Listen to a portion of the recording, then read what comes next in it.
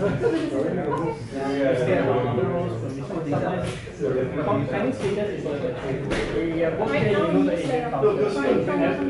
already have a very small pool of developers, and then with the Asian culture, it keeps even other.